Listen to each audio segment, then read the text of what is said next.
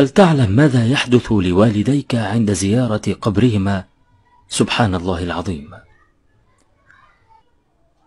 حكى عثمان بن سواد وكانت أمه من العابدات. قال لما احتضرت رفعت رأسها إلى السماء. وقالت يا ذخري ويا ذخيرتي ومن عليه اعتمادي في حياتي وبعد مماتي لا تخذلني عند الموت. ولا توحشني في قبري. قال فماتت. فكنت آتيها كل جمعة وأدعو لها وأستغفر لها ولأهل القبور. فرأيتها ليلة في منامي فقلت لها يا أماه كيف أنت؟ قالت يا بني إن الموت لكرب شديد وأنا بحمد الله في برزخ محمود يفترش فيه الريحان.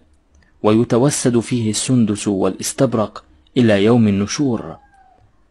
فقلت ألك حاجة؟ قالت نعم لا تدع ما كنت تصنع من زيارتنا.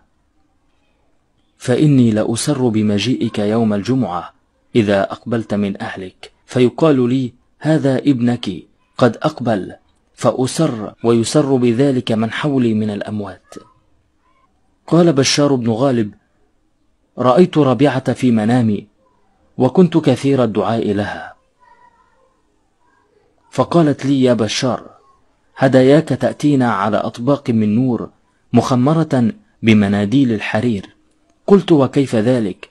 قالت هكذا دعاء الأحياء إذا دعوا للموتى.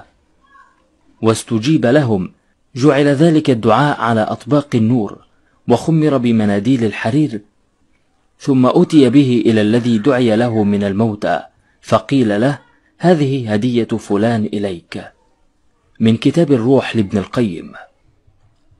هم أموات ولكن أرواحهم تنتظر منا أبسط الدعوات ليفرحوا بها.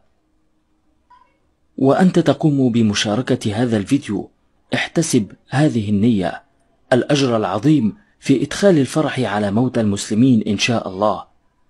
أن تفرح أنت بدعوات الناس لك بعد وفاتك. دقائق من فضلك. لا تنسى موتانا من الدعاء.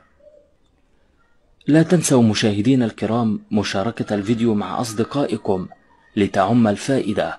وشكرا لكم على حسن المتابعة. وإلى اللقاء. اللهم من يرى هذا المقطع ومن ساهم فيه ومن أعان على نشره اللهم فاغفر له ذنوبه كبيرها وصغيرها. جلها ودقها عظيمها ودقيقها. يا رب العالمين.